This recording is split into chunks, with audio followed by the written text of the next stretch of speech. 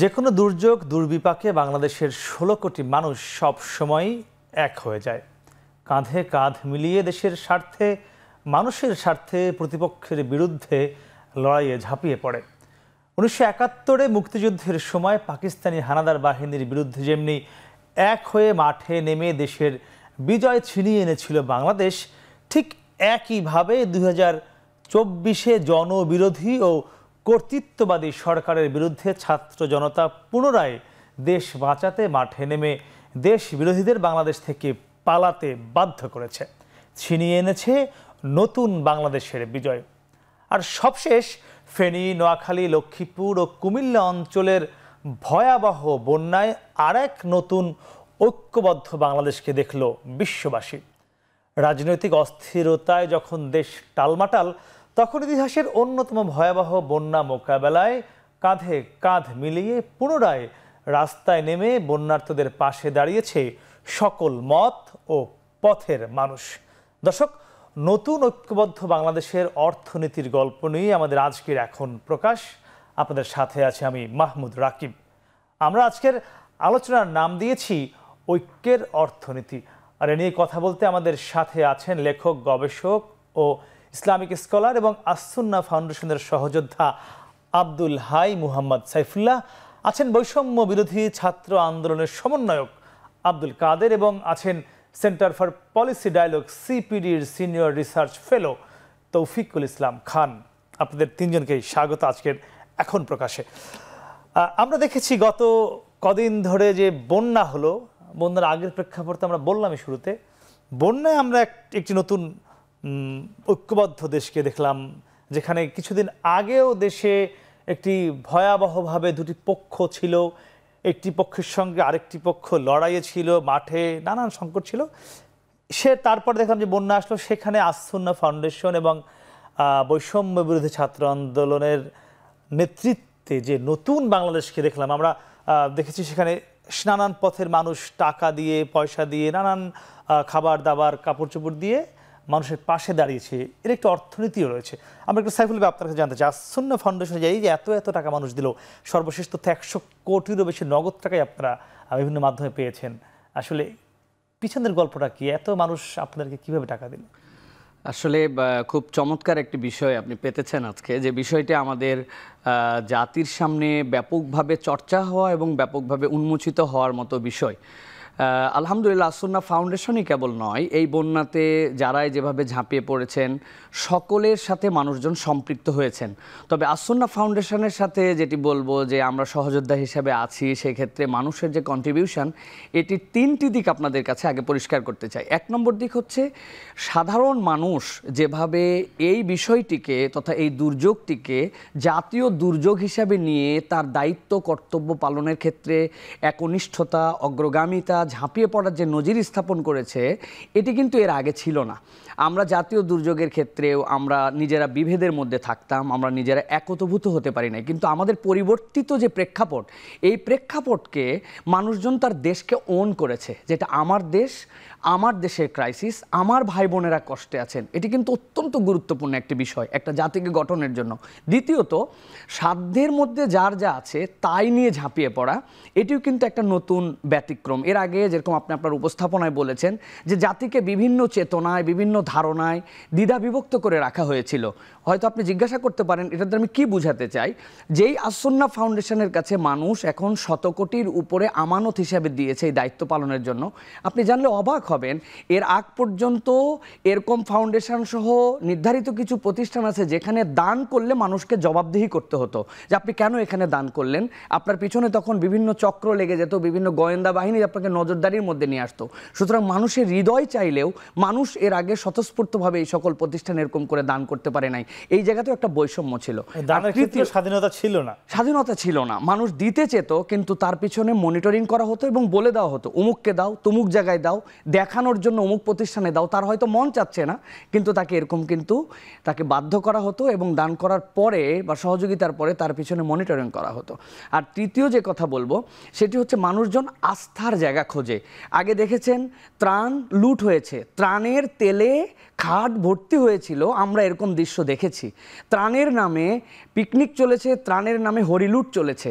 কিন্তু মানুষ এখন বুঝতে পেরেছে যে এমন কোনো প্রতিষ্ঠানের কাছে আমাদের দায়িত্ব, আমাদের এই আমানতটা দেওয়া উচিত উচিত যারা জিম্মাদারির সাথে এই দায়িত্বগুলা ইতিমধ্যেই প্রতিপালন করেছে। সেই ক্ষেত্রে আসন্না ফাউন্ডেশন যে অনন্য নজির বিগত কিছুদিন ধরে রেখেছে, তাদের যে ট্রান্সপারেন্সি তারা যে সুন্দর করে সব কিছু স্বচ্ছ আয় ব্যয়ের হিসাব দেওয়া, প্রত্যেকটা প্রজেক্টের শেষে এইগুলো মানুষের কাছে তার আমানতদারিতার সাথে উপস্থাপন করা, এইগুলা কিন্তু মানুষের ট্রাস্টের জায়গায় নিয়ে গেছে। এটা হচ্ছে মূলত এই ভালোবাসা এবং এই দায়িত্ব কর্তব্যের অন্যতম কারণ। মানুষকে আপনারা আস্থা অর্জন করতে পেরেছেন? আপনারা দুটি কাজ করেছেন বৈষম্য ছাত্র আন্দোলন ত্রাণের আগে আমরা দেখেছি পুরো জাতিকে আপনারা একত্রিত করতে পেরেছিলেন। সেটি তো রয়েছে, সেটি বিশ্ববাসীও দেখেছে। এখন পর্যন্ত যে ত্রাণের বন্যার্থদের মা, যে আপনারা টাকা, পয়সা বা অন্যান্য যে সামগ্রী পাচ্ছেন, তার সর্বশেষ মানে তথ্যটা কী? কী কী পেলেন? সেগুলো কীভাবে দিচ্ছেন? আচ্ছা জি, ধন্যবাদ।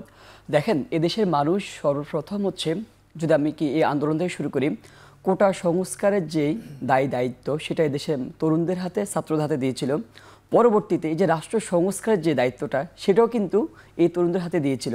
একটা বিষয় দেখেন, যখনই হচ্ছে যে দেশে ক্রান্তিলগ্ন, তখনই হচ্ছে এই দেশের মানুষজন হচ্ছে তারুণ্যের উপর একটা আস্থা জায়গায় যে জায়গাটা তৈরি করেছিল, সেটা আবার আস্থা রেখেছিল। আপনি দেখেন, আমরা হচ্ছে যদি প্রথমত বলি, একুশ তারিখ রাতে মানে বুধবার রাতে হচ্ছে, আমরা কয়েকজন মানে মানে সিদ্ধান্ত নিয়ে যখন নাকি হুট করে মানে বিকেলবেলায় পানি যখন চাউর হয়ে যায় ফেনী অঞ্চলে, তখন হচ্ছে আমি সিদ্ধান্ত যে আমরা হচ্ছে কি অল্প কয়েকজন শুরু করব।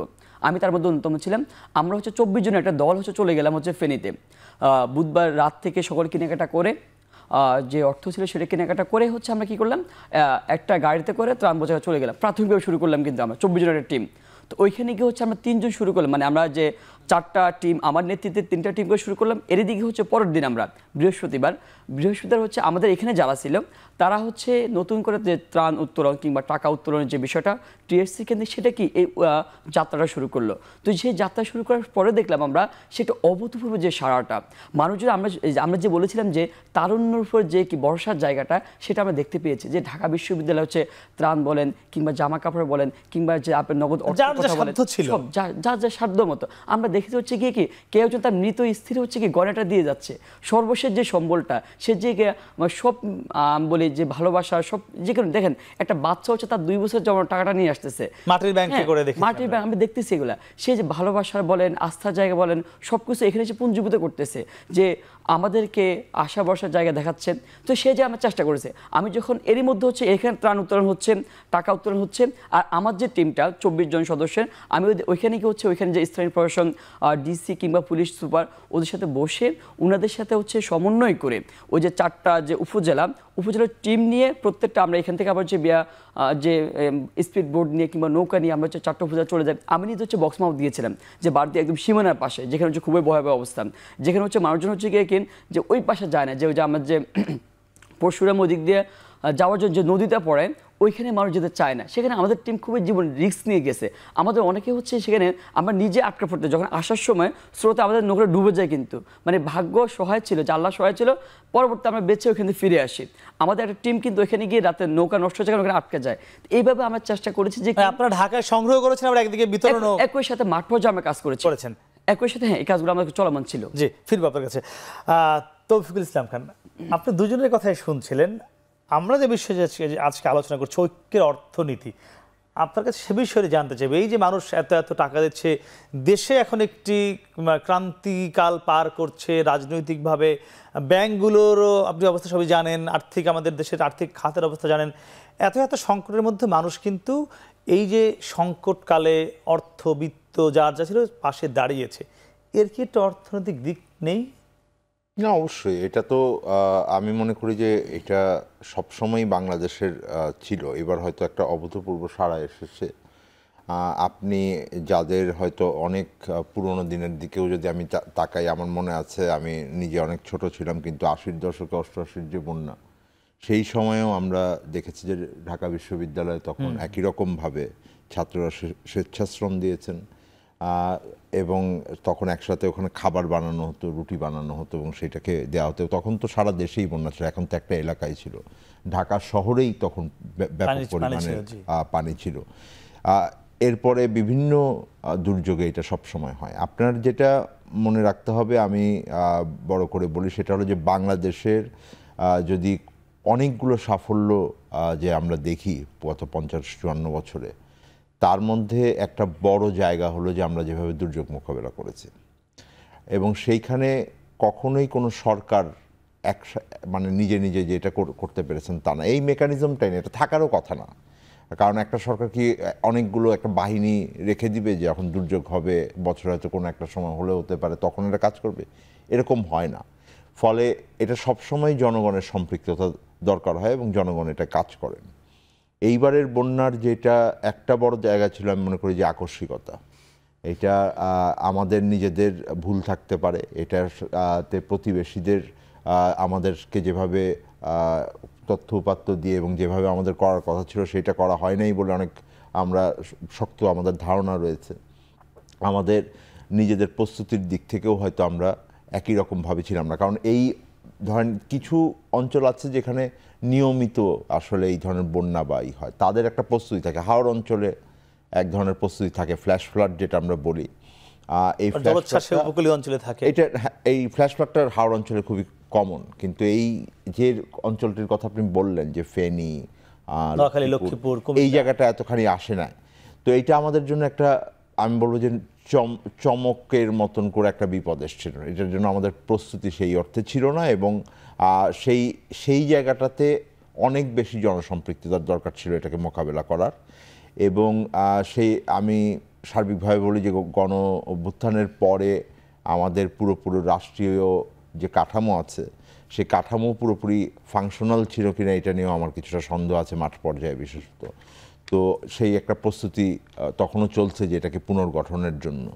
তো সেই সময়ে আমি মনে করি যে সাধারণ জনগণ এবং একই সাথে আলসুন্না বা এই ধরনের যারা বিভিন্ন সরকারের বাইরের প্রতিষ্ঠান আছে এবং অবশ্যই যারা ছাত্ররা আছেন সাধারণ মানুষ তাদের উপরে একটা যেহেতু বড় আস্থার জায়গায় এসছেন সেই আস্থারকে আরও একটু দায়িত্ব তাদের কাছে দেওয়ার কথা খুব আমরা সহজেই ভেবেছি যে এত বড় দায়িত্ব যদি তারা আগে নিয়ে থাকেন এইখানে তো তারা এই অর্থনীতিটা কি দেশের সামগ্রিক অর্থনীতির মধ্যে এই মুহূর্তে যেহেতু একটা এখন ক্রাইসিস এখানে কোনোভাবে কি প্রভাব ফেলে বা কি? দেখেন এখনও আমি এইটা বলা খুব সহজ হবে না কারণ আমরা এখনও বন্যার পুরোপুরি ক্ষয়ক্ষতি কি পরিমাণ হয়েছে এটা আমরা বলতে পারছি না। সরকারি তথ্য উপাত্তও লাগবে এটা ঠিক বাইরে থেকে বসে বলা যাবে না। সাধারণভাবে একটা বড় বিষয় থাকে হলো ফসলের ক্ষতি কি পরিমাণ হয় অনেক ক্ষেত্রে চাষের সময়টায় কি হয় সেই সেইগুলো একটা হিসাব করতে হবে। এখানে একটা বড় বিষয় আছে ভৌত অবকাঠামোর ক্ষতি আছে। ফলে একটা অর্থনৈতিক জায়গা আছে হলো যে অর্থনীতিতে ইমিডিয়েট আমরা বলি জিডিপির আপনারা বলেন না জিডিপির কত ক্ষতি হলো? তার মানে আমার অর্থনৈতিক কার্যক্রমে এই অর্থ বছরে কতখানি ক্ষতি হয়েছে। আর একটা হলো যে এটার পুনর্গঠনের জন্য একটা বিপুল সম্পদ লাগবে, সেইটা কতখানি লাগবে, সেটা কিছুটা ব্যক্তিরা নিজেরাই দিবেন, কারণ তার ঘর সংস্কার টংস্কারের জন্য তারা হয়তো কাজ করবেন, কিন্তু সরকারি একটা বিরাট সাহায্য লাগবে, যেটা অবকাঠামোর জায়গাতেও এবং কিছু কিছু মানুষকে সরাসরি সহায়তা দিতে হবে। আর আর একটা বড় জায়গা হলো যে এই সার্বিক পরিস্থিতির ভিতর দিয়ে আমাদের অর্থনীতির যে বিভিন্ন জায়গায় চাপগুলো ছিল, সেইটাকে আমি এখন তাহলে মোকাবেলার জন্য কতখানি এটা আনব? এটা একদিকে আমার যেমন খাদ্য উৎপাদন থেকে শুরু করে, আমার এইটাতে বৈদেশিক মুদ্রা আহরণ থেকে শুরু করে, আমার যে সার্বিক অর্থনৈতিক কর্মকাণ্ড আছে সেইটা।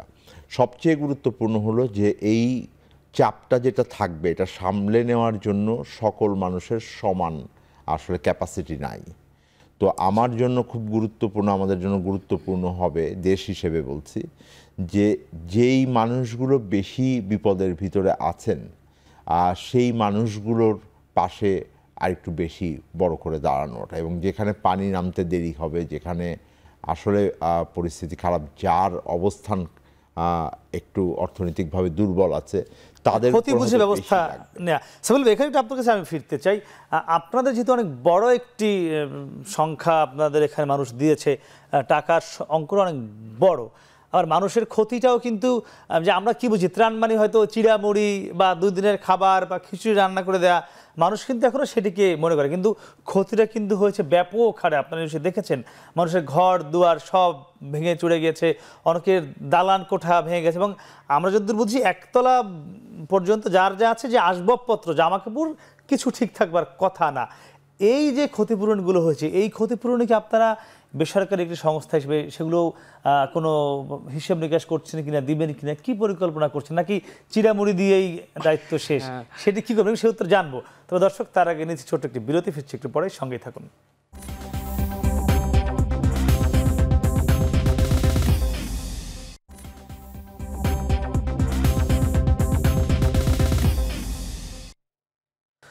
ফিরলাম বিরতির পরে কথা বলছিলাম ঐক্যের অর্থনীতি নিয়ে। আমরা ছিলাম সাইফুল আপনার কাছে। এবার কিন্তু বন্যার ক্ষতিটা অন্যান্য বারের মতো না যে শুধু বন্যা চলাকালীন সময়ে চিরা গুড় মুড়ে দিলেন বিষয়টি সেরকম আমরা বিরতির আগে বলছিলাম এবার অনেক ক্ষতি হয়েছে মানুষের ঘর বাড়ি নষ্ট হয়েছে। আপনারা মানে আপনারা যে যেহেতু বড় একটি টাকার সংখ্যা আপনাদের এখানে মানুষ দিয়েছে সেটি কি পরিকল্পনা করছেন? কীভাবে মানুষকে জি চমৎকার জিজ্ঞাসা এবং এটি কেবলমাত্র আমাদের জন্য নয় আমি আসন্না ফাউন্ডেশন একজন শুভাকাঙ্ক্ষী শুভাকাঙ্ক্ষী শেখ আহমদুল্লাহ একজন সহযোদ্ধা হিসেবে আপনাদের কাছে বলতে চাই। আমাদের যাদের কাছে, আমাদের এবার বন্যার ক্ষেত্রে আমাদের যে ত্রাণ সহযোগিতা এসেছে, এটাকে মূলত আসন্নাকে আমরা মডেল হিসাবে গ্রহণ করতে পারি। এটা ডিস্ট্রিবিউশনের ক্ষেত্রে এবং এটার ম্যানেজমেন্টের ক্ষেত্রে। আমরা একটা হাদিস জানি রসল্লাহ সাল্লাহ আলী আসাল্লামের এটা আমাদেরকে একটা বেসিক ধারণা দিয়েছে এটার উপরে। নবী করিম সাল্লাম বলেছেন আহাবুন্নাস ইলাল্লাহি আনফাউহুম লিন্নাস। আল্লাহর কাছে সবচেয়ে প্রিয় মানুষ, সে যে মানুষের জন্য কল্যাণ করে। এরপরে নবী করিম সাল্লাম বলেছেন, চারটা কথা। যে তোমরা চারভাবে মানুষের জন্য কল্যাণ করতে পারো। এক নম্বর তিনি বলেছেন যে হয় কোনো মানুষের মনের মধ্যে তুমি আনন্দ ঢুকাই দিতে পারো। যে এমন একটা কাজ করলে মানুষের মধ্যে একটা আনন্দ ঢুকলো। দুই নম্বর, তার কোনো দুশ্চিন্তা তুমি দূর করে দিতে পারো। তিন নম্বরে, এই মানুষের যদি কোনো ঋণ থাকে, তাহলে তুমি ঋণ মুক্ত করে দিতে পারো। চার নম্বর, ক্ষুধার কষ্ট যদি থাকে, তাহলে তুমি এটা পার্মানেন্ট তার থেকে রিলিফ করার ব্যবস্থা করতে পারো। তা আমাদের যে ত্রাণের কার্যক্রম, এটা শাহেক আহমদুল্লাহ এবং তার টিম সহ এটা একটা ম্যানেজমেন্ট যে চার লেয়ারে প্রথমত কাজ করা হয়েছে। প্রথম হচ্ছে উদ্ধার করা এবং উদ্ধারের সাথে সাথে লাইট খাবার তাদেরকে প্রদান করা। ওই সময় কোনো ব্যবস্থাপনা ছিল না যে তারা অন্য কোনোভাবে খাবেন। ওই সময় তাদের জন্য একটু খেজুর দেওয়া, যেটা আমরা মনে করেছি একই সাথে তাদের জন্য অনেক ধরনের এনার্জি এবং অনেক ধরনের তার চাহিদা পূরণ হবে। সাথে শুকনা খাদ্য ছিল, এর সাথে পানির ব্যবস্থা করা ছিল এর মধ্যে প্রাথমিকভাবে। এরপরে দ্বিতীয়ত একটু উদ্ধার হয়ে যাওয়ার পরে তাদের জন্য কিন্তু দেয়া হয়েছে ভারী খাদ্য এবং লাইট খাদ্য দুটার সংমিশ্রণ। চিরা দেয়া হয়েছে, এর সাথে লবণ দেওয়া হয়েছে, চিনি দেওয়া হয়েছে, যাতে করে স্যালাইন বানায় হলেও তারা খেতে পারেন। সাথে সাথে তাদের জন্য চাল, ডাল তেল লবণ এইগুলোর ব্যবস্থাপনা ছিল। এটার পরবর্তীতে একটা স্টেপ আসবে যখন মানুষ ঘরে ফিরতে শুরু করেছে তখন মানুষজন মোটামুটি একটা স্টেবল হলে মানুষের মৌলিক জিনিসটার অভাব হবে যেটা চাল। সকলের দরকার কেন এটা আমাদের প্রধান খাদ্য। এই জন্য তাদের প্রত্যেকের জন্য একটা চালের প্যাকেজ ঘোষণা করেছে ঘরে ঘরে দিচ্ছেন না? প্রত্যেক ঘরে যারা আক্রান্ত তাদেরকে একটা সিস্টেমের মধ্যে নিয়ে এসে প্রতিটা এই অঞ্চলে আক্রান্ত মানুষের কাছে আমাদের যতটুকু ক্যাপাসিটি তার মধ্যে আমরা পৌঁছানোর জন্য চেষ্টা করছি। এবং এখন পর্যন্ত চার হাজার টন খাদ্য প্রক্রিয়ার মধ্যে আছে, যার প্রায় ধরেন যে প্রায় তিন হাজার টন খাদ্যই হচ্ছে এইগুলো বিতরণের কাছাকাছি, একদম শেষ পর্যায়ে। আর একটা চালের প্যাকেজ যাবে প্রত্যেকের কাছে, যেটা হচ্ছে পঁচিশ কেজির একটা চাল প্রত্যেকের ঘরে ঘরে পৌঁছানোর জন্য এটা প্রক্রিয়াধীন আছে। চতুর্থত যেটি আপনি মূল গুরুত্বের কথা বলেছেন, যে পুনর্বাসন করা মানুষের জন্য। আর এইখানে যে মানুষগুলি আছেন, এই মানুষগুলির মধ্যে আমরা যদি একটু হিসাব করে দেখি, তাহলে হয়তো বা তিরিশ থেকে পঁয়ত্রিশ পার্সেন্ট মানুষ যারা, এই মানুষগুলো নিডি একদমই দরিদ্র মানুষ যাদের কাছে আসলে পুনর্বাসনের জন্য লাগবে। আর কিছু মানুষ আছেন যেই মানুষগুলোর জন্য কিছু আমাদের হেল্প লাগবে যে হেল্পগুলো দিলে তারা মাথা গুঁজে দাঁড়াতে পারবেন আবার। তো এই যে পুনর্বাসন প্রক্রিয়া, এই পুনর্বাসন প্রক্রিয়ায় শাহেক আহমদুল্লাহ এবং আসন্না ফাউন্ডেশন ঘোষণা করেছে দুইটা ধরন। একটা হচ্ছে যিনি আক্রান্ত, তাদের কাছ থেকে তথ্য নেওয়া হবে। আর দ্বিতীয়ত, আপনার, আমার, উমুকের আরেকজনের পরিচিত একজন থাকতে পারে, আমরা তথ্য দিব ওই জায়গাতে। এরপর একটা নির্দিষ্ট কার্যক্রমের অধীনে ইউনিভার্সিটি যারা আমাদের ছাত্র ভাইয়েরা আছেন বিভিন্ন পর্যায়ের যারা শিক্ষিত যুবকেরা আছেন এই মানুষগুলোর সমন্বয়ে পাঁচজন ছয়জন করে একটা করে গ্রুপ হবে। যেই গ্রুপগুলো এইগুলাকে যে সরজমিনে তদন্ত করবে খুব শর্ট টাইমের মধ্যে। এরপরে তাদের রিপোর্টের আলোকে তাদের পুনর্বাসনের জন্য কিন্তু কাজ করবে তথ্য নেওয়ার জন্য। জি জি। সরাসরি তারা সরাসরি মাঠ পর্যায়ে এবং এটা এতে কি আপনাদের এই যে চারটা ধাপের কথা বললেন এতে কি আপনারা এখন পর্যন্ত যে আপনারা সহায়তা পেয়েছেন মানুষের কাছ থেকে তাতে কাভার করবে? আসলে এইটার তো আমাদের স্যার যেরকম? বলেছেন যে এটার আসলে ক্ষয়ক্ষতির পরিমাণ কতটুকু আমরা জানি না। আবার আমরা যে সকলকেই উদ্ধার করে দেব বিষয়টি এরকম না। আমাদের যতটুকু ফান্ডিং এই ফান্ডিংকে কিন্তু ভাগ করা হয়েছে। পঁয়ত্রিশ কোটি টাকার মতো এই খাদ্য পারপাসে ব্যয় হচ্ছে। শিক্ষা এবং শিক্ষা কেন্দ্রিক যারা ক্ষতিগ্রস্ত হয়েছে ছাত্ররা বই হারিয়ে ফেলেছে স্কুলের অবস্থা খারাপ হয়ে গেছে তাদের পড়ালেখার কোনো পরিবেশ নাই এর জন্য কিন্তু একটা থোক বরাদ্দ হয়েছে। পুনর্বাসনের জন্য আবার আলাদা করে তিরিশ কোটি টাকা আমি এক্সাক্ট ফিগারটা বলতে পারছি না এই মুহূর্তে তারা অথেন্টিকভাবে তারা এগুলো তথ্য তাদের যে ভেরিফাইড পেজ আছে সেখানে। দিবেন। টাকা আসছে আলহামদুলিল্লাহ। এবং এটা একটা ওয়েল ম্যানেজমেন্ট সিস্টেমে ব্যবহার করা হবে। এখানে আমি একটা জিনিস আপনার মাধ্যমে পুরো আমাদের যারা সমন্বয় করছেন তাদেরকে বলে রাখতে চাই যে আমাদের মূল যেটা সমস্যা এখন সেই সমস্যাটা হচ্ছে সমন্বয়ের সমস্যা। একই ব্যক্তি পাঁচবার খাবার পেয়েছে। আবার দেখা যাচ্ছে কেউ খাবারই পায় নাই। একই ব্যক্তির তথ্য তিনজন দিয়েছেন আরেকজনের তথ্য দেয় না সুতরাং আমাদের আরেকটা কার্যক্রম চলমান। সেন্ট্রালি একটু সমন্বয় দরকার আমরা একটা সমন্বয় করতে চাই। আসুন্না ফাউন্ডেশন সমন্বয়কের ভূমিকায় আসতে চায় যে জিনিসটা যেন ওয়েল এই ডিস্ট্রিবিউশন বিষয়টি আমরা আলোচনা করব। একটু যদি তারা তো বলছিল আপনারাও তো আহ, মানুষ সহায়তা করেছে আপনাদের মাধ্যমেও। আপনারা মানে কোন ধরনের সহায়তাগুলো করছেন এই বন্যার্ত এলাকায়? বা কি পরিকল্পনা আপনাদের কি? আচ্ছা দেখেন এই পথে তো আমাদের মানে যাত্রাটা এই শুরু। আমাদের কোনো পূর্ব অভিজ্ঞতা ছিল না। সেক্ষেত্রে হচ্ছে আমাদের যে টিম গেল আমরা বললাম চব্বিশ জনের টিম সেখানে কি হচ্ছে আমাদের মাঠ পর্যায়ে কিছু একটা অভিজ্ঞতা হলো আর কি যে আসলে স্থানীয় প্রশাসন কীভাবে ওয়ার্ক এখন তো চব্বিশ জনের টিম নিশ্চয়ই এখন তো তখন তো আমি শুধু বলতেছি হাজার। যে আমাদের মানে আমাদের মাঠ পর্যায়ে অভিজ্ঞতা নাই এর আগে কিন্তু কিংবা এখানে ডিস্ট্রিবিউশন অভিজ্ঞতা নাই। তো সেক্ষেত্রে আমাদের মাঠ পর্যায়ে একটা অভিজ্ঞতা হলো আপনি জানেন বিভিন্ন জন বিভিন্ন পারপাসে হচ্ছে এদের ত্রাণ যাচ্ছে। ভাই যেটা বলল যে এক একজন তিনবার পাচ্ছে কিংবা তার তার বলয়ের লোকজন পাচ্ছে সেটা আপনার মাঠ পর্যায়ে একটা অভিজ্ঞতা হলো আর কি আমাদের। পরবর্তীতে আমি যখন সেখানে তিন দিন অবস্থান করে এখানে যখন আসলাম তখন আমাদের মনে হলো যে আমরা মানে কেউ যেন এখানে যে ত্রাণটা যাচ্ছে, কেউ যেন একটা ট্রাক নিয়ে আসতেছে ট্রাক নিয়ে এসে বলতেছে, আমাকে দিয়ে দেন, আমি গিয়ে ডিস্ট্রিবিউট করব। এটা আসলে ওয়ার্ক করে না। কে কার উদ্দেশ্যে কোন উদ্দেশ্যে নিয়ে যাচ্ছে সেটা তো বলা যাচ্ছে না। কেউ যে মনে করেন পলিটিক্যাল পারপাস সার্ভ করতেছে নিজে মানে পরে রাজনীতি করবে সেই যাবে নিয়ে যাচ্ছে। তো আমি এসে একটা চিন্তা ভাবনা করলাম কি যে আমাদের তো ঢাকা বিশ্ববিদ্যালয়ের শিক্ষার্থীদের একটা মানে প্রত্যেকটা উপজেলা ভিত্তিক একটা সংগঠন আছে কিন্তু ছাত্র কল্যাণ সমিতি নামেন তো আমি চিন্তা করলাম যে তাদের পক্ষ থেকে অবশ্যই একটা কি আওয়াজ উঠল যে আমাদের মাধ্যমে বিলি করলে। তা আমরা চিন্তা করলাম না যদি আমরা ছাত্র কল্যাণ সমিতি যারা আছেন ওদের মাধ্যমে যদি বিলি করতে পারি সেক্ষেত্রে হচ্ছে ওই ওই ব্যক্তি জানবে তার ইউনিয়নে কোন কোন ব্যক্তি সমস্যাগ্রস্ত আমরা জানি দেখবেন যে, দেখেন, প্রত্যেকটা বাড়ি আমরা প্রথম চাহিদা কি ছিল? উদ্ধার কার্যক্রম, সেটা আমরা শুরুতে করেছিলাম। পরবর্তী চাহিদা ছিল আপনার শুকনো খাবারের সেটা সেটা আমরা কি চালু করার চেষ্টা করছি। সেটা আমাকে মোটামুটি আমাদের সাধ্যের মতো যতটুকু সম্ভব, আমরা সেটাও চেষ্টা করেছি করার জন্য। এখন যে প্রয়োজনটা, এখন হচ্ছে মানুষজন, আপনি বলে একটু দেখেন। এখন মানুষের চাহিদা হচ্ছে কি একটু বাড়ি খাবার। শুকনো খাবার মানুষরা কয়দিন খাবে? পানি নেমে যাচ্ছে। যদিও হচ্ছে লক্ষ্মীপুর সদরটা হচ্ছে কি পানি এখন আবদ্ধ, সেটা এখন নামতেছে না। তো ওই অঞ্চলে এখনও শুকনো কার্যক্রম চল- চলমান থাকতেছে। একই সাথে আমরা শুকনো কার্যক্রম যে আমরা হচ্ছে প্রায় একশো টাকার মতো। আমি তো পরবর্তী ফর্মের দায়িত্বটা আমি এসেনি যেহেতু আমি মাঠ পর্যায়ে একটা অভিজ্ঞতা হয়ে গেছে, কীভাবে ডিস্ট্রিবিউশন করা লাগবে। তো একশো ট্রাকের মতো হচ্ছে আমি শুকনো খাবার পাঠাই। প্রত্যেকটা ট্রাকে একশো থেকে হচ্ছে এক হাজার থেকে বারোশো খাবার থাকে। বিভিন্ন হচ্ছে উপকরণ থাকে। এটা হচ্ছে আমাদের প্রাথমিক কার্যক্রম সেকেন্ড লেয়ার তিন নম্বর লেয়ার আমরা হচ্ছে কি, যে হচ্ছে আমরা হচ্ছে ইউএনএম ডিসি স্থানীয় প্রশাসন যারা আছে তাদের সাথে সমন্বয় করে যারা হচ্ছে বিভিন্ন আশ্রয় কেন্দ্রে অবস্থান গ্রহণ করতে তাদের জন্য হচ্ছে কি কি রান্না গণ রান্না কর্মসূচি আয়োজন করি। সেক্ষেত্রে হচ্ছে আমরা ফেনীতে কিংবা হচ্ছে কুমিল্লায় লক্ষ্মীপুর হচ্ছে আমরা হচ্ছে ইউএনও অফিসে কিংবা হচ্ছে ডিসি অফিসে আমরা ত্রাণগুলো পাঠাই দিই একশো বস্তা দুশো বস্তা করে পাঠিয়ে দিই ওরা ওইভাবে সমন্বয় করে রান্না করেন এখন যেটা চাহিদাটা আমরা এখন করতেছি হচ্ছে ওই যে বললাম ছাত্র কল্যাণ সমিতির মাধ্যমে তাদের সাথে আমরা মানে দুই তিনবার করে বৈঠক করলাম যে বৈঠক করার সিদ্ধান্ত নিলাম যে আমরা তোমাদের মাধ্যমে ত্রাণটা দিব। যে তোমরা চিনবা, প্রত্যেকটা ইউনিয়ন পর্যায়ে। আমি আসার পরে আমরা একটা কি প্ল্যান করলাম যে আমার যে ইউনিয়নে গাড়ি যাবে, অর্থাৎ হচ্ছে গিয়ে কি মেজ কুমিল্লার লোক ফেনি থেকে ডিস্ট্রিবিউশন করবে না?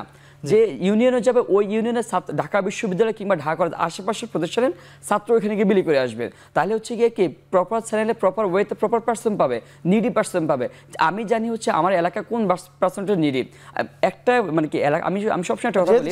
সমিতির ছেলে ছেলেমেয়েরাই থাকছে। তারাই থাকতেছে। তা আমরা এভাবে চেষ্টা করি তাদের মাধ্যমে হচ্ছে দেওয়ার জন্য আর কি একটু এখানে আপনি শুনছিলেন দুটি প্র- প্রক্রিয়ায় শুনছিলেন। এখানে কিন্তু আরেকটি বড় প্রক্রিয়া করছে রাষ্ট্র। আপনি জানেন যে প্রধান উপদেষ্টার একটি ফান্ড তহবিল করা হয়েছে, ত্রাণ তহবিল। সেখানেও দেশের সকল সংস্থা, অফিস, আদালত, সাধারণ মানুষও সেখানে ডোনেট করছে। যদি এখন আমরা সংখ্যা জানতে পারিনি, সেখানেও শত শত কোটি টাকা এতদিনে তহবিলের টাকা পড়েছে, সব অফিস, আদালত আদালত দিয়েছে। তো এই যে একটি কথা বলছিল সাইফুল ভাই সমন্বয়টা খুব বেশি জরুরি।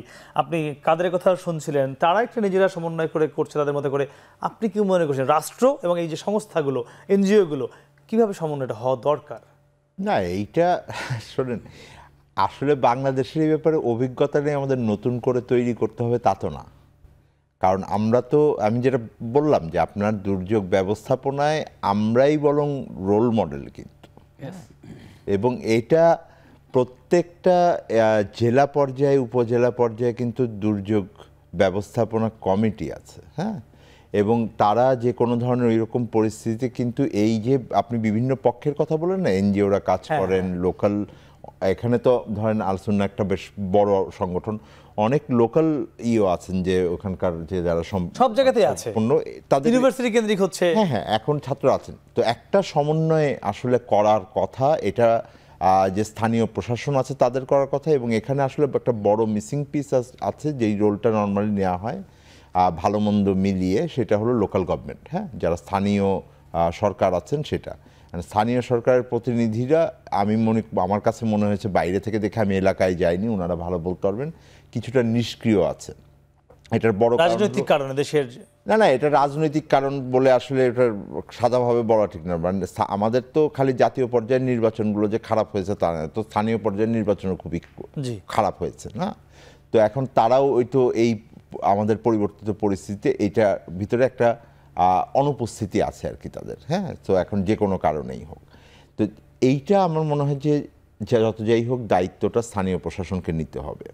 এবং যেইটা বরং আমি মনে করি যে একটা বড় এখন অ্যাডভান্টেজ আছে, সেটা হলো যে সাধারণত একটা বড় চ্যালেঞ্জের জায়গা হলো কে কোথায় দেবেন এবং ওই যে যেটা বললেন যে আইডেন্টিফিকেশন আমরা বলি যে কাকে দিব, কাকে কোনটা দিব আবার হ্যাঁ? যেমন ধরেন আপনার যখন এই বন্যার পানি নেমে যাবে, অনেক কৃষকদের বীজ দরকার হবে। কৃষকগুলো কোথায় আছেন? তিনি কার কাছে যাবেন? তিনি কিন্তু ওই এলাকার ব্লক সুপারভাইজারের কাছে যাবেন। সুতরাং এই ধরনের প্রক্রিয়া কিন্তু আছে। সেই প্রক্রিয়াগুলোকে কার্যক্রম করা উচিত। আমরা যেটা আপনি বলছেন যে এটা তো জনগণ অংশগ্রহণ করছেন। কিন্তু সরকারের কোষাগার থেকেও তো বরাদ্দ হয় এবং বরাদ্দ এটাই হওয়ার কথা।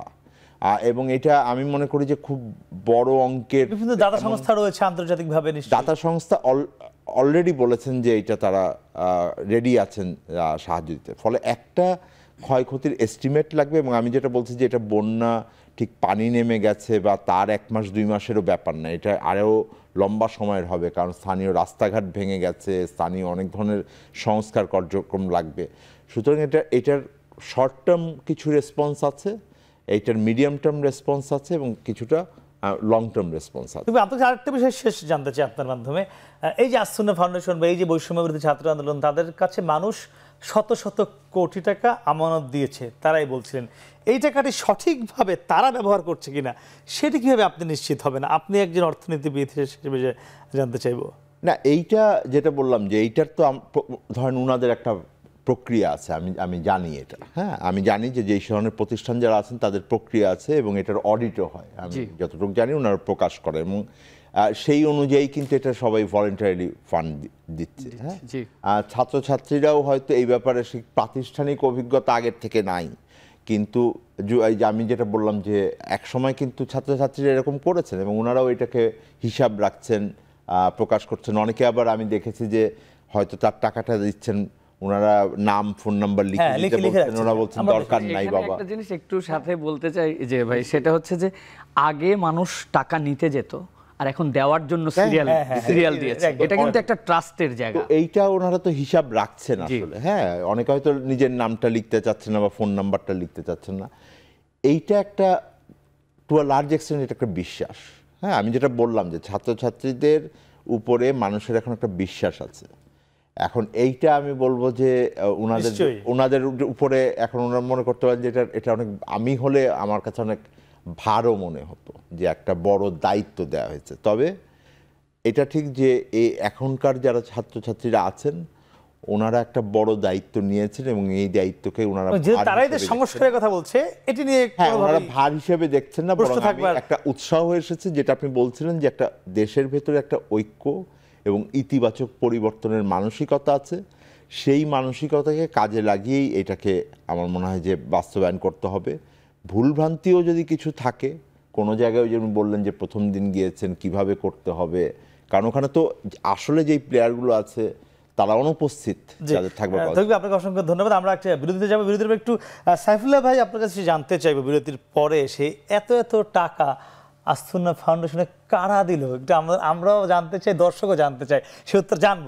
তো দর্শক তার আগে নিচ্ছে আবার ছোট্ট একটি বিরতি ফিরছে একটু পরে সঙ্গে থাকুন।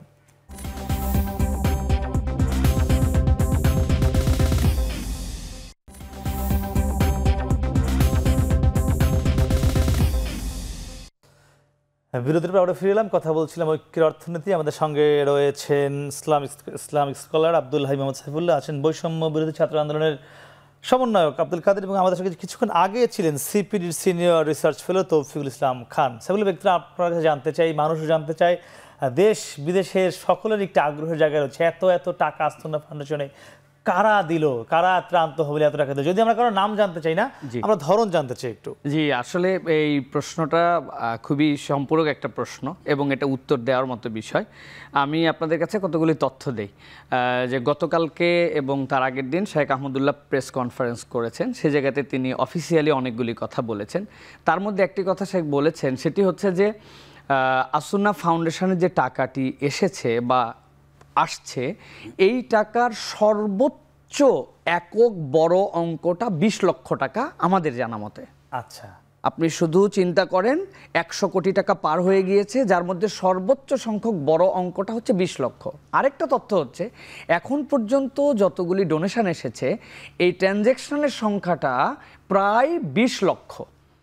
তার মানে আপনি কি বুঝছেন? কেউ দিয়েছে পাঁচ টাকা দশ টাকা? হ্যান্ড ক্যাশ আছে ব্যাংক আছে মোবাইল ব্যাংকিং আছে। হ্যাঁ, হ্যাঁ এটা হচ্ছে এই মোবাইল ব্যাংকিং ওয়েবসাইট তারপর রকেট বিকাশ নগদ এইগুলির যে এইগুলি বিশ লক্ষ ট্রানজ্যাকশন আছে। তার মানে কেউ পাঁচ টাকা থেকে শুরু করে পাঁচশো এক হাজার এক লাখ দুই লাখ এরকম করে দিয়েছেন। টপটা হচ্ছে বিশ লক্ষ। টাকা। তার মানে এরকম ভাবার কোনো কারণ নাই যে দেশের কোনো গোপন প্রতিষ্ঠান অথবা কেউ জানি বড় একটা অঙ্ক আমাদেরকে দিয়েছে। এটা জনগণের আমানত জনগণ ভালোবেসে দিয়েছে। মাছ পিপুলের এর মধ্যে কন্ট্রিবিউশন আছে। যে যেভাবে পেরেছে, তারা সেভাবে এখানে সহযোগিতা করেছে। আমাদেরকে এই বন্যা অনেক কিছু শিখিয়েছে। অনেক ধরনের আমাদেরকে নতুন নতুন অভিজ্ঞতা দিয়েছে এবং একটি আরেকটি অভিজ্ঞতা আমাদেরকে ব্যতিক্রম অভিজ্ঞতা দিয়েছে যে এত মাছ পিপুলের অংশগ্রহণের পরেও আমাদের দেশের এক চোখা কিছু মিডিয়া এখনও রয়ে গেছে, যারা তাদের চোখটাকে অন্ধ করে রেখেছে। তারা এটা দেখতে পায় না। তারা এই নিউজকে উচ্চভাবে প্রেজেন্ট করার ক্ষেত্রে তাদের মধ্যে বৈষম্যটা এখনও রয়ে গেছে। আমি অনেক সময় মজা করে একটা কথা বলি যে ওই ছোটবেলায় যখন ঈদের দিন আমরা আব্বার সাথে ঘুরতে যেতাম, তো ওই সময় বেলুনালাদের কাছে চশমা পাওয়া যেত। তো চশমাটার দাম দুই টাকা ছিল। আপনার অভিজ্ঞতা আছে কিনা জানি না। এই সুন্দর কাগজ দিয়ে ফ্রেম আর সামনে হচ্ছে লাল কালার থাকতো, হলুদ কালার থাকতো। তো আব্বার থেকে আমরা জোর করে চশমা কিনে নিতাম। দুই টাকা দিয়ে আব্বা চশমা কেনার পর আমি যখন চশমাটা চোখে দিতাম, দেওয়ার পর তাকায় দেখি আমার আব্বা লাল। বাসায় এসে দেখি ভাত লাল তরকারি লাল সব লাল। কিছুক্ষণ পরে যখন লালের মজা শেষ হয়ে যেত তখন আম্মার কাছে আবদার করে আরেকটা চশমা কিনতাম দুই টাকা দিয়ে আবার একটা হলুদ চশমা কিনতাম। কেনার পরে ওই চশমা পরার পরে দেখি কি আমার আম্মা হলুদ আব্বা হলুদ আসমান হলুদ জমিন হলুদ সব হলুদ। আমি যদি আপনার মাধ্যমে জিজ্ঞাসা করতে চাই দেশবাসীকে যে আসলে কি আমার আব্বা লাল ভাত হলুদ আসমান লাল বিষয়টি কি এরকম? না আমার চশমার সমস্যা। দেখুন আমাদের এই যে প্রান্তিকতায় কতক মিডিয়া কতকের কাছে এইরকমভাবে একটা জিনিস ঢুকে গেছে যে তারা আসলে তাদের মনের একটা সেট মাইন্ড সেট আপ করে রেখেছেন। এই বৈষম্যটা সবচেয়ে বেশি বাংলাদেশে যাদের উপরে, তারা যারা ইসলাম প্র্যাকটিস করেন, তাদের উপরে এই বৈষম্য বেশি। অনেক সময় আমরা বলে থাকি যে বাংলাদেশের সংখ্যালঘু, আসলে সংখ্যালঘু কারা? আপনি যদি একটু হিসাব করে দেখেন মিডিয়ার সেন্সে বিভিন্ন সেন্সে সবচেয়ে বড় সংখ্যালঘু হচ্ছে যারা প্রকৃতার্থে ধর্মকে পালন করেন। আপনার একটা দাড়ি আছে, আপনার টুপি আছে, আপনি ইসলামকে প্র্যাকটিস করেন, কোনো ধর্মকে আঁকড়ায় আছেন, তখন দেখবেন আপনি বৈষম্যের শিকার হবেন। এই মানুষরা যত ভালো কাজ করুক, একদল মিডিয়া এটা দেখতে পায়। না, সেই বৈষম্য দূর করতে কাজ করছে আব্দুল কাদেররা যারা দেশকে সে জাতিগত যে বিদ্বেষের জায়গায় চলে গিয়েছিল, গত পনেরো ষোলো বছরে সেটি অনেকটাই দূর করেছে। একটু জানতে চাই রাষ্ট্র গঠনে আপনারা সংস্কারের জন্য কাজ করছেন, এই যে ঐক্যবদ্ধ অর্থনীতি, অর্থনীতির কথা আমরা বলছি সেখানে রাষ্ট্র সংস্কারের কাজকেও আপনারা এই যে বৈষম্য বিরোধীর কথা বলা হচ্ছে সাইফুল্লাহ ভাই কিছু তার অভিমানের কথা বলছিলেন গত পনেরো বিশ বছরের, এগুলো নিয়ে আপনারা কাজ করছেন কিনা সামগ্রিকভাবে? হ্যাঁ আচ্ছা দেখেন একটা বিষয় আমরা তো শুরুতেই বলেছি যে আমাদের যে বৈষম্য বিরোধী যে আন্দোলনটা সে আন্দোলন শুধু কোনো ব্যক্তির বিরুদ্ধে নয়, এটা সিস্টেমের বিরুদ্ধে। তো আমরা যে সেই সিস্টেমটা চেঞ্জ করার জন্য আমরা কাজ করে যাচ্ছি, আমরা হচ্ছে সেই স্বপ্ন আমরা দেখতেছি, মানুষজন সেই স্বপ্নকে আমরা, মানুষজন সেই স্বপ্ন দেখাচ্ছি। এর মধ্যে দেখেন বিভিন্ন দিক দিয়ে যখন নাকি একটা রেজিমটা দীর্ঘদিন ধরে চলমান ছিল, প্রত্যেকটা সেক্টরে আপনার একদম ধস নেমে গেছে। তো আমরা হচ্ছে যে ইন্টারিম গভর্নমেন্ট বলেন কিংবা হচ্ছেন এখন যে ছাত্রদের যে যে ভূমিকা, যে আগ্রহ, যে আকুতির জায়গাটা, সেটা অবশ্যই কাজ করার যে একটা মানসিকতা আছে, কিন্তু এই যে দীর্ঘ একটা জার্নি, এটা হুট করে হয়ে যাবে না। আমরা যারা হচ্ছে যে কোনো সেক্টরে আমি ব্যক্তিগতভাবে মানে আমাদের প্রত্যেকটা মানে মানুষজন বিভিন্ন সেক্টর ধরে কাজ করতেছে। আমাদের দুজন ব্যক্তি হচ্ছে যারা সরকারে গিয়েছে, আর হচ্ছে আমরা যারা আছি, তারা তো হচ্ছে একটা হচ্ছে ওয়াচ ডগ হিসেবে আমরা কাজ করে যাচ্ছি। এই যে সিস্টেম চেঞ্জ করা, এটা আমাদের একটা অঙ্গীকার। এই যে এই দেশ থেকে, এই দেশকে আপনার পুনরায় সংস্কার করতে হবে, পুনরায় গঠন করতে হবে, সে অঙ্গীকার নিয়ে আমরা কাজ করে যাচ্ছি। তো একটা বিষয় দেখেন সাইফুল্লাহ যে বিষয়টা বললাম সেটা হচ্ছে আপনার সাংবাদিকদের যে বিষয়টা, এটা একটা গুরুত্বপূর্ণ একটা বিষয়। তো আমরা হচ্ছে যারা ইতিমধ্যে যে বিগত দিনে যে যেসব সাংবাদিক যারা হচ্ছে বিভিন্ন মাধ্যমে হচ্ছে দেশ কিংবা দেশের দশের বিরুদ্ধে কি কথা বলেছেন, একটা গোষ্ঠীকে সার্ভ করেছেন, সেই জায়গা থেকে আমরা হচ্ছে কি কিছু সাংবাদিকদের যে বিষয়গুলো তুলে ধরলাম, যে এই এই সাংবাদিক বিষয় তুলে ধরলাম। আপনি জেনে থাকবেন ছয় থেকে সাত তারিখে পরে কিন্তু হচ্ছে কি আমরা একটা প্রতিনিধি দল গেলাম প্রেস ক্লাবে। সাংবাদিক বিষয় আমরা আস্তে আস্তে দেখতেছি। আমরা বলেছি, দেখেন, এই যে সিস্টেম চেঞ্জটা যে যখন নাকি দেশে গণতন্ত্র নেই তখন প্রত্যেকটা সেক্টরে ব্যাপার হচ্ছে গিয়ে দশ নামে দিয়ে গেছেন। তো সেই আমরা সেক্টর ধরে ধরে কাজ করতেছি। আমাদেরকে একটু সময় দিতে হবে। সেই ক্ষেত্রে আমরা সবাইকে আহ্বান জানাব আমাদের পাশে থাকতে আমাদেরকে সুপরামর্শ দিতে আমরা সমন্বয় করে আমরা হচ্ছে কি একটি সুন্দর একটা যে সিস্টেম চেঞ্জের কথা বলতেছি। আমরা আরেকবার কাজ করবেন। আর আমরা আরেকবার বলছি দেখেন অর্থাৎ যে লঙ্কায় যে সে রাবণ হয়। আমরা এই বিগত বিগত দিনেও দেখেছি যে কেউ হচ্ছে গিয়ে আপনার একতরফা নির্বাচন দিচ্ছেন কেউ হচ্ছে আবার কারচুপি নির্বাচন করতেছে কেউ হচ্ছে বিচারপতি হচ্ছে বয়স বাড়াচ্ছেন। আমরা শুধুমাত্র বলতেছি যে এই যে আমরা লঙ্কার যে সিস্টেমটা সেই সিস্টেমটা চেঞ্জ করার মাধ্যমে হচ্ছে গিয়ে কি আগামী বাংলাদেশ বিনির্মাণ করব। নিশ্চয়ই।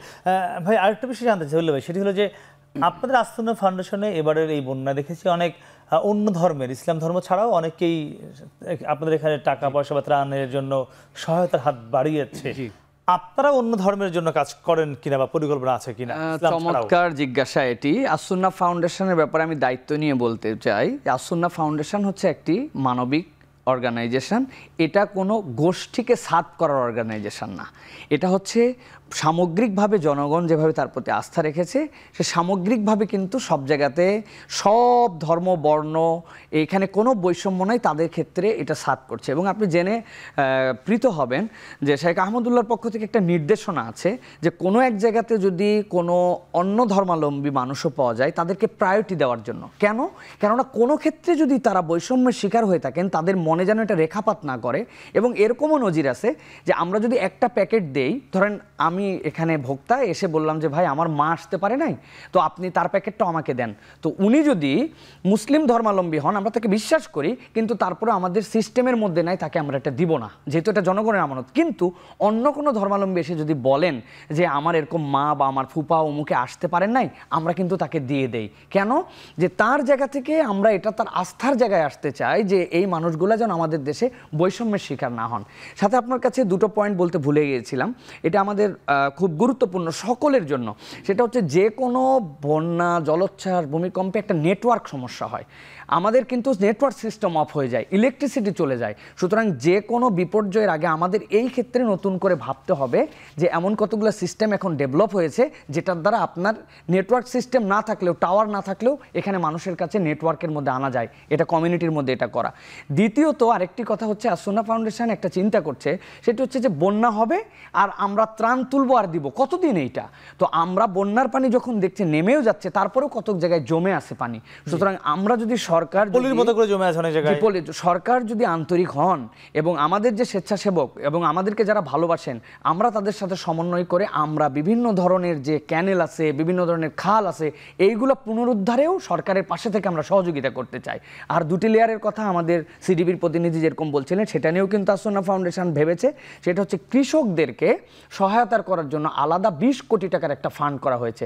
আরেকটা শ্রেণি বিরাট ক্ষতিগ্রস্ত যেটা আমাদের লাইমলাইটের বাইরে চলে যাচ্ছে। আপনি জানেন যে আমাদের যে মুদি দোকানদার ছোট দোকানদার এই যে হচ্ছে মোবাইলের ফ্লেক্সি লোডের দোকানদার এই দোকানগুলো কিন্তু বাংলাদেশের সব নিচতলায় নিচে, হয় হ্যাঁ, এবং এই মানুষগুলো ব্যাপক ক্ষতিগ্রস্ত। তো এই মানুষগুলোকে হয়ে করে দেওয়া পুনর্বাসন করে দেওয়া তাদের জায়গায় আবার তাদেরকে একটা ছোট্ট পুঁজি দিলে তারা আবার দাঁড়িয়ে যাবেন। এটা কিন্তু চমৎকারভাবে এটার আয়োজন হয়েছে। সে বিষয়ে আরেকবার কথা বলব।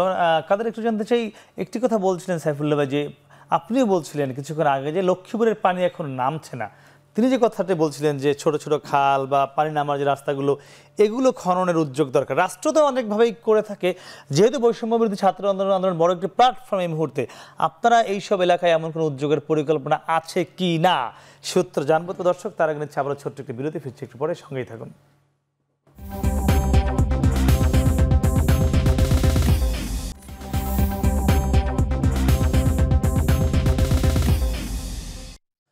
আবারও ফ্রিলাম বিরতির পরে কথা বলছিলাম ঐক্যের অর্থনীতি নিয়ে। আমরা একটু ছিলাম আব্দুল কাদের আপনার কাছে। আমরা দেখেছি এই বন্যার এখন পানি নামছে। আপনি বলছিলেন লক্ষ্মীপুরের পানি এখনও নামছে না। আমরা দেখেছি ফেনী কুমিল্লার পানি মোটামুটি নেমে গিয়েছে। পানি নেমে যাওয়ার পরে প্রত্যেকটি ঘরে বা দোকানে আমরা দেখেছি মানে চার আঙ্গুল, ছয় আঙ্গুল, আট আঙ্গুল পর্যন্ত কাদা জমে গেছে। অনেকটা পলির মতো। বন্যায় তো পলি নেমে আসে তো, এগুলো পলি বলা যায়। এগুলো কিন্তু অনেক বড় একটি সংকট তৈরি হয়েছে। ওই এলাকার রাস্তাঘাট সব নিমজ্জিত মানে আপনাদের এখন পরবর্তী একটা তো ত্রাণ তুলেছেন, মানুষকে সহায়তা করেছেন, এখন কি পরিকল্পনা আছে এসব এলাকা নিয়ে?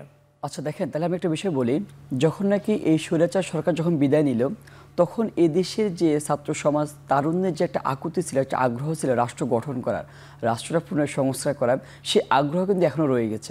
আপনি দেখেন আমি হচ্ছে গিয়ে কি? আমি তো একদম পাঁচটা পর্যন্ত টিএসসি থাকি ছয়টা পর্যন্ত টিএসসি থাকি।